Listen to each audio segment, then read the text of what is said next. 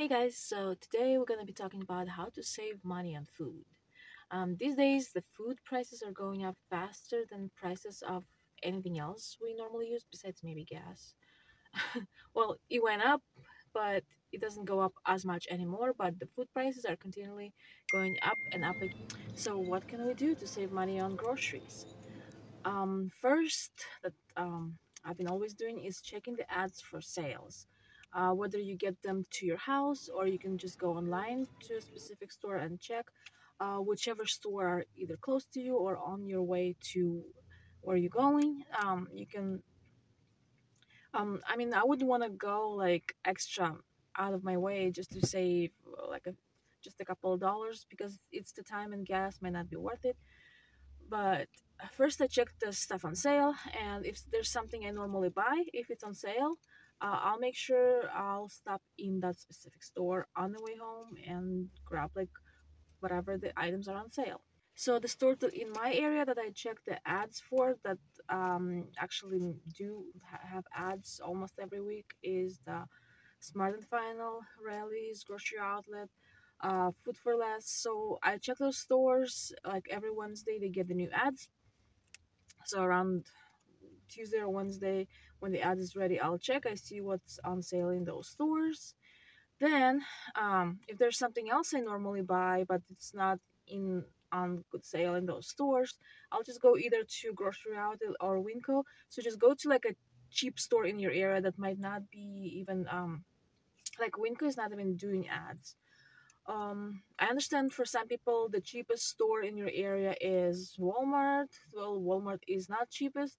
If you have Winco, um, it's like a it it's usually, usually has good prices on most things, and probably that's why they don't even make the ad every week. Next is don't overbuy the foods that are perishable. it might end up being wasted. Generally, it's like the fruits and vegetables, um, or the things that go in the fridge, like your juices well if you really really have to save money you might not want to buy juices because they're like more expensive than water. So yeah. So those uh, foods that are going into your fridge generally um, they don't have uh, like uh, too much time to uh, be consumed. Um, I noticed with some things that um, like okay let's say if you have yogurt or sour cream if you open it then you um it might go bad before even before the expiration date. So like i try not to buy big containers of those even though sometimes it's cheaper to buy one bigger container than two smaller ones. If it's only a little bit difference um, i'll buy two smaller ones because when it's when you open it you have to use it within i think maybe a week or two.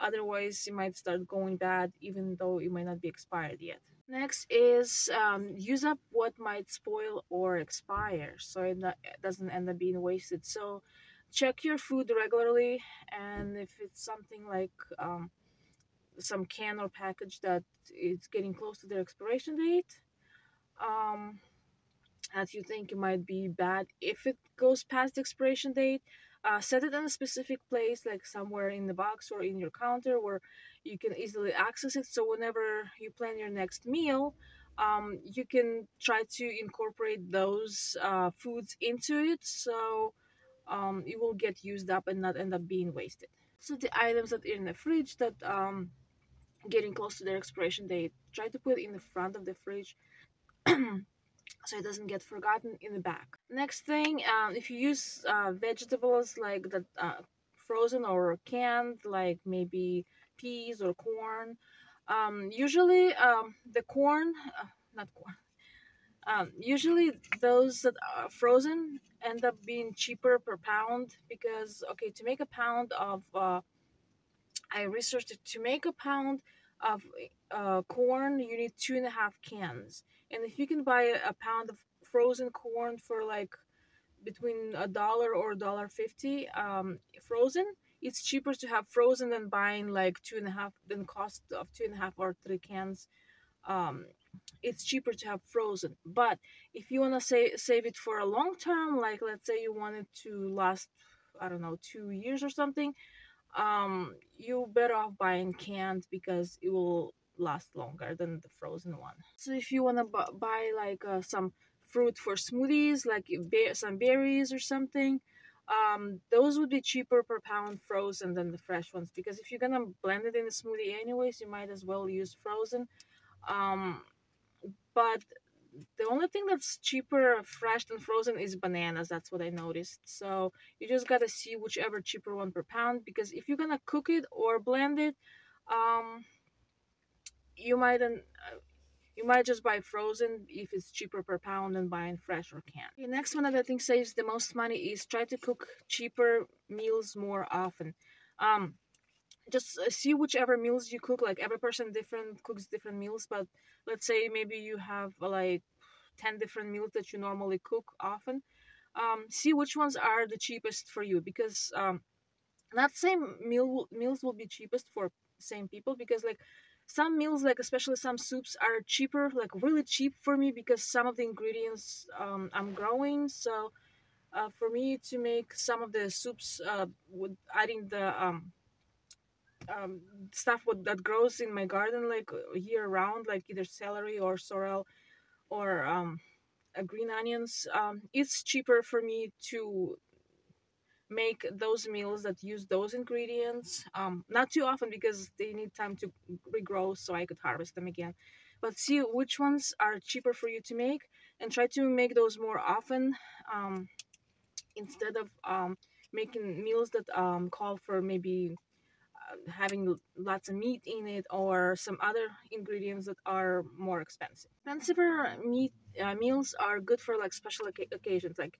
if you have like a, like people coming over or uh, if you having like a birthday or something. Um, I would save the more expensive meals for those occasions and like cheaper meals for like everyday things. But generally, uh, making soups soups are the cheapest meals because you only need like a handful of meat and whatever vegetables you have especially if you make like lentil or bean soup um they end up it ends up really cheap because like half of it is water and uh, you know it ends up really cheap compared to the um rest of the uh, meals uh, so salads are also cheap if you can find the like cheap um like lettuce. Sometimes it's expensive so it's not worth me even buying it but if you um if you can come across something that's cheap like sometimes cucumbers go, go on good sale so whichever ingredients you can find at a good deal if you can do that um then yeah if it's cheap for you to make salad salad is a good uh, um, cheaper meal too. Also for uh, work lunches or to go meals that you take with you um, if you want to take something with you some chips or pretzels or even cookies or something uh, buy a bigger package and then put some um, to go in the small ziploc bags like sometimes i buy chips and i put it in separated in small servings like ziploc bags and okay i might end up um buying chips um like for like a dollar 99 that's on sale a, a package that says price like 497 on it. Sometimes when it's on sale i i buy whatever the limit amount is. And um and I'll open the package and like separate it in little Ziploc baggies. So me or my son will take it um to work and stuff. So one um dollar ninety eight or dollar ninety nine package lasts us like I don't know like ten servings or so to take with you instead of buying those little um little baggies and I think like 50 of them will cost you like $20 which is like way too much for drinks to go instead of like buying already um drinks uh, at the store in small servings because you're not gonna bring like a two liter bottle with you right you're not gonna uh, you don't want to drink that much in one day right especially if it's soda um so what i do like i buy like a 24 pack of like regular water and once we reuse those bottles to replace with our own drinks like i'll buy like a gallon of juice, orange juice or something. If you want to take orange juice, you just put some orange juice in there. Uh, or I buy the, I'll get those um, powder mixes like you can buy um, gatorade powder mix or other fruit punch kind of powder mix and you can just mix yourself a drink and keep on reusing the same bottle. The only downside that you have to wash it really good but other than that it really saves you a lot of money and or you can just re um, refill it with regular uh, drinking water from home that's even cheaper. So saving money on food is not that complicated it, it does require some extra work like you know like you have to plan and think and watch the sales and try to see figure out which one is cheaper to use that you're still okay with doing. Also right now food is still cheaper than it's going to be like six months or a year from now. So if you do have any extra money in your budget try to pick up a few extra foods uh, like that you can save for later that you can use later because i see a lot of foods that i bought maybe a year or two ago. Right now it's a lot more expensive like maybe 20 30 50% more expensive or some of them you go to the store like um I remember I was buying this and this like every month or so. Now I go to the store, it's re- it's not even there. Like the, some of the canned meat I used to buy, it's not even there. It's re- uh, replaced by some like ramen, weird Asian ramen thingies that you know too expensive to buy anyways.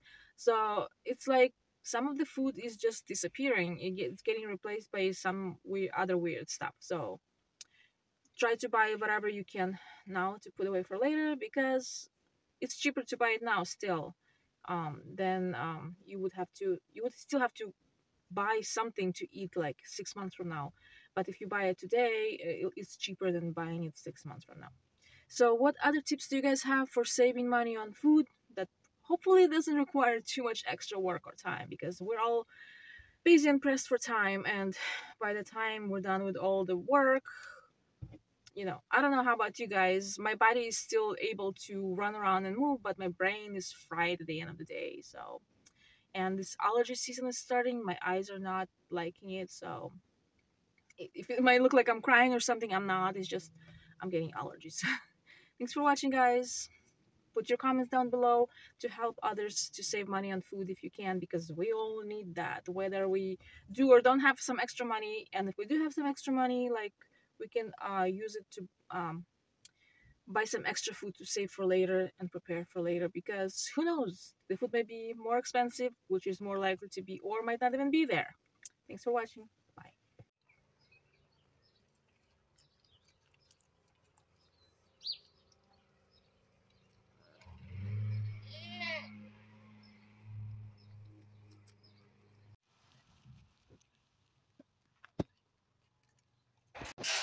Oh. Shoo! You're always here.